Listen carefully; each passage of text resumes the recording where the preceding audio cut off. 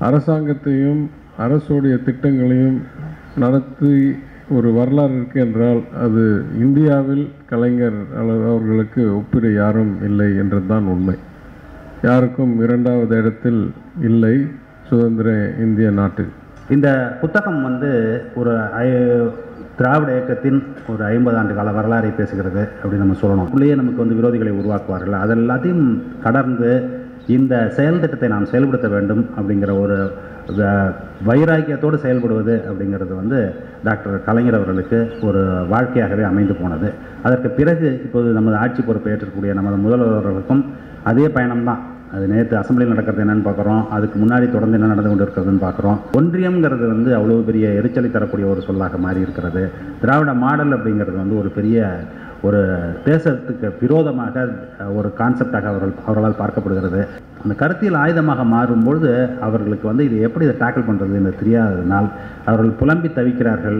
ஒரு கவலையும் மற்ற ஒரு சமுதாயம் எட்டு கோடி தமிழர்கள் வாழ்ந்து கொண்டிருக்கிறார்கள் என்பது மிகவும் அவமானத்துக்குரியது ஒன்றாக தான் நான் நினைக்கிறேன். எனக்கு பல நல்ல காரணங்களுக்காக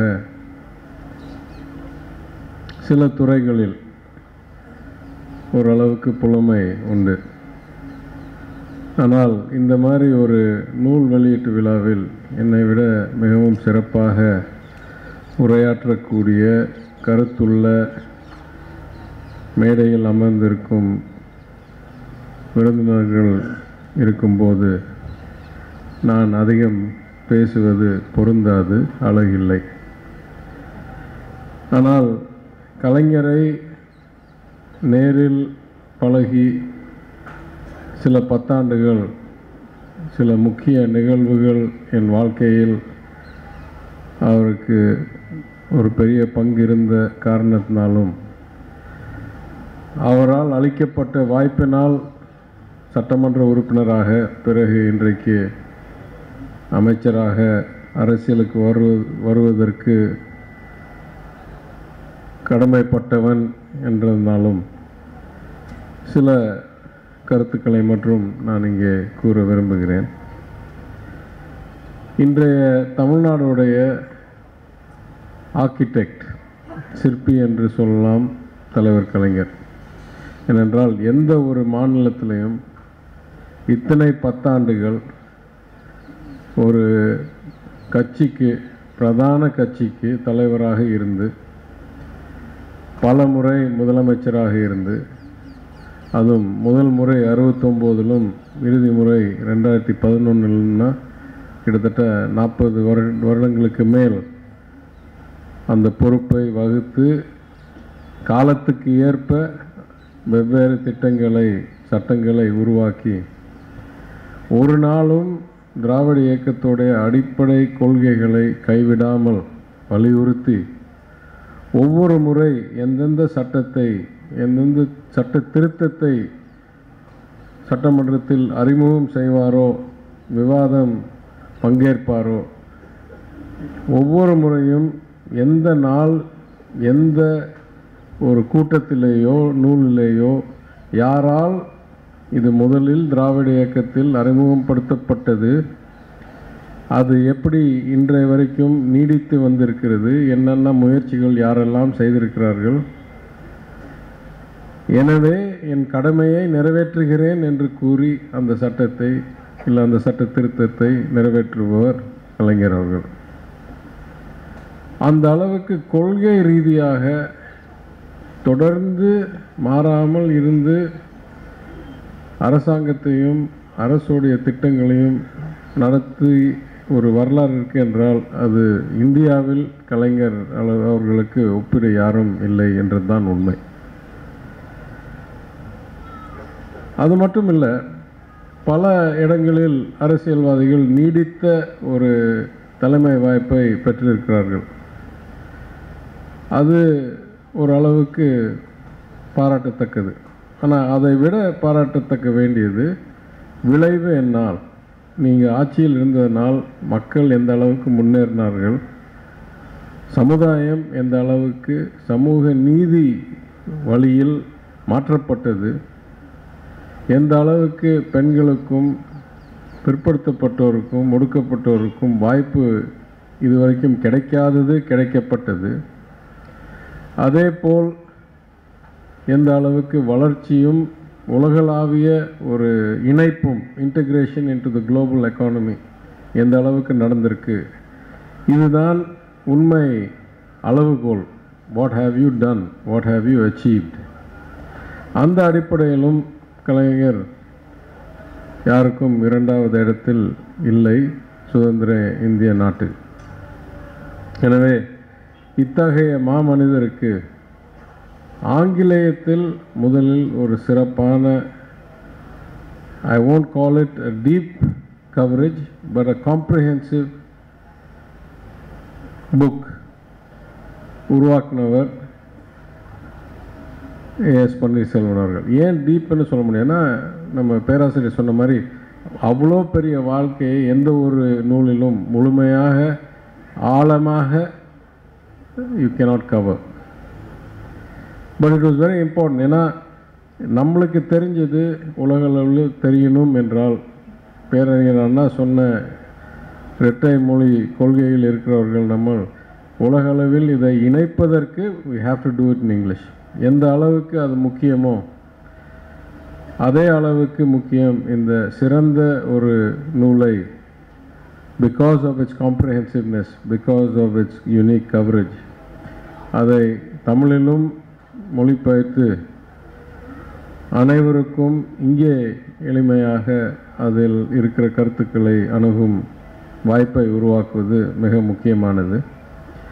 எனவே எந்த அளவுக்கு ஆங்கிலேயத்தில் வந்த நூல் அந்த காலத்துக்கு அந்த நேரத்துக்கு ஏற்புடையதாக இருந்ததோ அதே போல் இன்றைக்கு இந்த மொழிபெயர்த்து இன்றைக்கு வெளியிட தலைவரால் எங்கள் முதலமைச்சரால் வெளியிடப்பட்டு இந்த புத்தக காட்சியில் அறிமுகப்படுத்தி இங்கே இன்னும் சிறப்பும் ஒரு பப்ளிசிட்டியும் கிடைக்கும் வகையில் இந்த விழா நடப்பது. மகிழ்ச்சி அளிக்கிறது.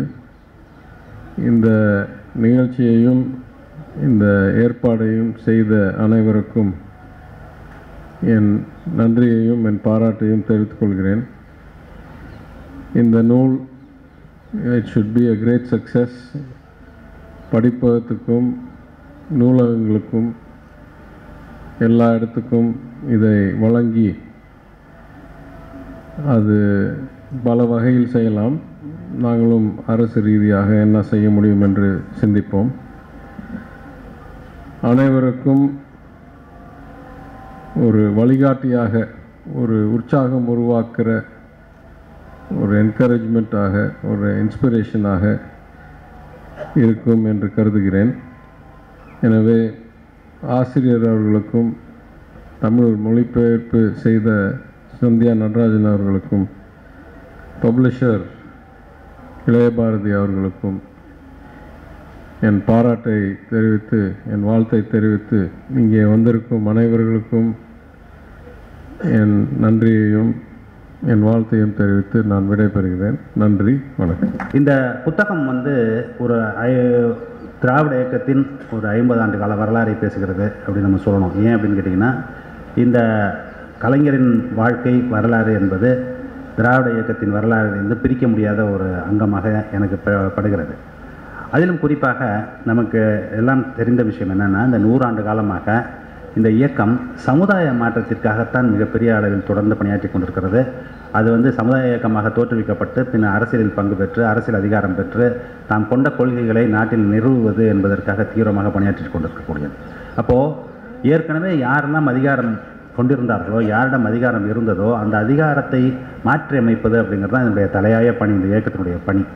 அந்த மாதிரி செய்ய செய்யும் பொழுது அதற்கு யாரெல்லாம் எதிராக செயல்படுவார்கள் அதற்கு என்னவெல்லாம் எதிர்ப்பு இருக்கும் அதற்குள்ளாக தான் இது நீஞ்சி பயணிக்க வேண்டும் எப்பொழுதும் நீற்ற நெருப்பாற்றை கடப்பது அப்படிங்கிறது தான் இதனுடைய இதற்கு இந்த இயக்கத்திற்கே விதிக்கப்பட்ட விதி. விதி என்று சொன்னால் ஏன்னு கேட்டிங்கன்னா அது மேற்கொண்ட செயல் திட்டம் அப்படி. அப்போது இது வந்து இன்று வரை நேற்று வரை இந்த சோதனைகள் நமக்கு தொடர்ந்து கொண்டு தான் இருக்கின்றன. இது வந்து இன்றைக்கு தீர்ந்து விடுமா நாளைக்கு தீர்ந்து விடுமா என்று கேட்டால் அது என்றும் தீராது. அந்த ப- அந்த நம் கொண்ட கொள்கைக்காக நாம் பயணிக்கும் பொழுது இது போன்ற ஏற்கனவே இப்போ சனாதனங்கிற பேரில் வந்து இவர்கள் வந்து கொண்டிருப்பார்கள். அதுக்கு முன்னாடியும் அதே பேரில் தான் வந்தார்கள். வெவ்வேறு பேர்களில் வந்து கொண்டே இருப்பார்கள். அது வந்து நமக்குள்ளேயே நமக்கு வந்து விரோதிகளை உருவாக்குவார்கள். அதெல்லாத்தையும் கடந்து இந்த செயல் திட்டத்தை நாம் செயல்படுத்த வேண்டும் அப்படிங்கிற ஒரு வைராக்கியத்தோடு செயல்படுவது அப்படிங்கிறது வந்து டாக்டர் கலைஞர் அவர்களுக்கு ஒரு வாழ்க்கையாகவே அமைந்து போனது. அதற்கு பிறகு இப்போது நமது ஆட்சி பொறுப்பை ஏற்றக்கூடிய நமது முதல்வர்களுக்கும் அதே பயணம்தான். அது நேற்று அசம்பிளியில் நடக்கிறது என்னென்னு பார்க்குறோம். அதுக்கு முன்னாடி தொடர்ந்து என்ன நடந்து கொண்டு இருக்கிறதுன்னு பார்க்குறோம். நம் உச்சரிக்கும் ஒவ்வொரு சொல்லும் அவர்களுக்கு வந்து மிகப்பெரிய எரிச்சலையும் ஆத்திரத்தையும் அளிக்கிறது. ஒன்றியம்ங்கிறது வந்து அவ்வளோ பெரிய எரிச்சலை தரக்கூடிய ஒரு சொல்லாக மாறி இருக்கிறது திராவிட மாடல் அப்படிங்கிறது வந்து ஒரு பெரிய ஒரு தேசத்துக்கு விரோதமாக ஒரு கான்செப்டாக அவர்கள் அவர்களால் பார்க்கப்படுகிறது. அப்படின்னு சொன்னால் நான் ஒரு நேர்முகத்தில் சொன்னேன் நான். என்னென்னு கேட்டிங்கன்னா இது வந்து இதெல்லாம் சாதாரணமாக ஒரு கான்ஸ்டியூஷனில் வந்து it is union of states அப்படின்னு சொல்லுவதை தமிழாக்கம் செய்து அது யூனியன் கவர்மெண்ட் என்பதை ஒன்றிய அரசு என்பதை நாங்கள் எல்லாம் சாதாரணமாக பயன்படுத்தி கொண்டிருந்தோம் போக இதை திராவிட முன்னேற்ற கழகத்தின் தலைவரும் த தமிழக முதல்வரும் அதை கையில் எடுத்து அதை பேச ஆரம்பிக்கும் பொழுது நமது நிதியமைச்சர் அதை பற்றி பேசும்பொழுது அது என்ன ஆகுது அப்படின்னு கேட்டிங்கனாக்கா இதனுடைய குறியீடாகவே மாறி போகிறது ஒரு கருத்தியல் ஆயுதமாக மாறி போகிறது அந்த கருத்தியல் ஆயுதமாக மாறும்பொழுது அவர்களுக்கு வந்து இதை எப்படி இதை டேக்கிள் பண்ணுறது என்று தெரியாததினால் அவர்கள் புலம்பி தவிக்கிறார்கள். நம் மீது வந்து என்னென்ன வந்து அபாண்டமான படிகளை சுமத்த முடியுமோ அது மாதிரி படிகளை சுமத்துகிறார்கள். அது நமக்கு ஒன்றும் புதியதில்லை. இது வந்து நூறாண்டு காலமாக நாம் இதை சந்தித்து கொண்டு தான் இருக்கிறோம். அதை தாண்டி தான் வருகிறோம். அதில் தோல்வியை சில சமயம் சந்தித்திருந்தாலும் அது இன்று வரை உயிரோடு நாம் இருக்கிறோம். நம் இயக்கம் உயிர்ப்போடு இருக்கிறது அப்படிங்கிறது வந்து எதை காட்டுகிறது என்று சொன்னால் நம்மளுடைய ரெலவென்ஸ் அப்படிங்கிறது இன்று வரை இருந்து கொண்டு தான் இருக்குது. இன்றும் இருக்கும் என்றும் இருக்கும். அண்ணா ஒரு இடத்துல எழுதுகிறார் என்ன எழுதுகிறார் அப்படின்னு கேட்டிங்கன்னா இந்த அடித்தட்டு மக்களும் அவர்களது சமூகத்தில் அவர்களுக்கு வந்து உரிய இடமும் கிடைக்கும் வரை இந்த இயக்கத்திற்கான தேவை இருந்து கொண்டே இருக்கிறதுன்னு அதற்கான போராட்டம் தான் நம்முடைய போராட்டம். அதனுடைய வரலாறு தான் இப்போ கலைஞரை பற்றிய வரலாறு. அந்த வரலாறை வந்து மிக சிறப்பாக எவ்வளோ இத்தனை பக்கத்தில் எழுதி முடிக்கிறது அப்படிங்கிறது ஒரு பெரிய சவாலான பணி. அந்த பணியை வந்து பன்னீர்செல்வன் வந்து முடிந்த அளவுக்கு அதை செய்து முடித்திருக்கிறார். அது வந்து இன்னும் வந்து நம்ம என்னன்னு கேட்டிங்கன்னா இது வந்து ஒரே ஒரு சிறு துளி தான். இந்த இயக்கத்தினுடைய வரலாறு கலைஞரின் வரலாறு அப்படிங்கும்போது இந்த பக்கங்கள் இந்த ஐநூறு அறுநூறு பக்கங்களில் எழுதியிருக்கக்கூடிய இந்த வரலாறு அப்படிங்கிறது வந்து ஒரு சிறு துளி. நாம் இன்னும் செய்ய வேண்டிய பணிகள் ஏராளமாக இருக்கின்றன. அதை செய்வதற்குண்டான ஆட்கள் தான் வெகு சிலராக இருக்கிறோம். அதுதான் எனக்கு இருக்கக்கூடிய மிகப்பெரிய கவலை. நான் பேசும் இடத்திலெல்லாம் சொல்லிக் கொண்டிருக்கிறேன். இதை பற்றி பேசுவதற்கும் இதை பற்றி எழுதுவதற்கும் இது பற்றி வந்து ஒரு ஒரு சிந்தனையை உருவாக்கி அதை நோக்கி மக்களை பயணிக்க வைப்பது அதை டாக்குமெண்ட் பண்ணுவது அதை பொதுவெளியில் வைப்பது அது குறித்து விவாதிப்பது அப்படிங்கிறது வந்து ரொம்ப ரொம்ப சிறிய அளவில் தான் நடந்து கொண்டிருக்கிறது. அது வந்து இன்னும் பரவலாகவும் பேசப்பட வேண்டும் இது பரவலாக ஆராயப்பட வேண்டும்.